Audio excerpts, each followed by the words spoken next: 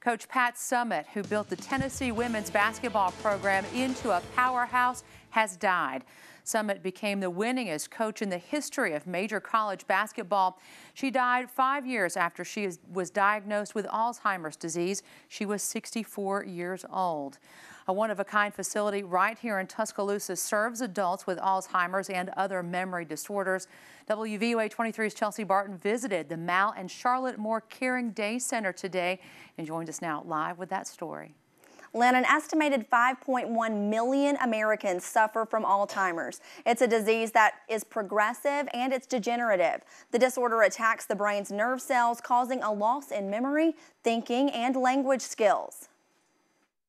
Although diagnosis to death is on average about six years, those at Caring Days know patients live longer and have a greater quality of life when they keep their minds and bodies stimulated. We're an activity-based program. We just have fun all day long. We have music, games, um, they have different group activities, exercise. They just have a good time every day. Caring Days also connects people with similar disorders, creating purposeful friendships. Depression frequently goes with, with any form of dementia. Um, to begin with, people know they don't remember everything they should, and they don't feel comfortable going out places. So when they start here, um, they have friends that they can relate with they also have no demands on them to, to remember things. Dorothy Thomas was first introduced to the program as an option for her mother, Polly, who suffered from memory loss. When you take your child to daycare, you take them and you leave them because you know they're going to be looked after and cared for for that amount of time.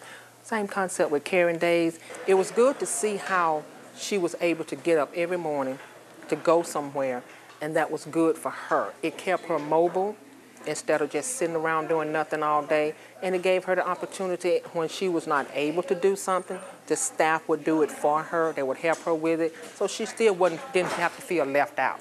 Today, Thomas works at Caring Days, giving back to the place she calls a godsend. It's, it's a needed program for one thing. And when you have the opportunity to take your loved one somewhere where they're going to be cared for and looked after and loved, we got some of the most loving people that work here you ever meet. So it's, it's hard to even put into words. It's fantastic.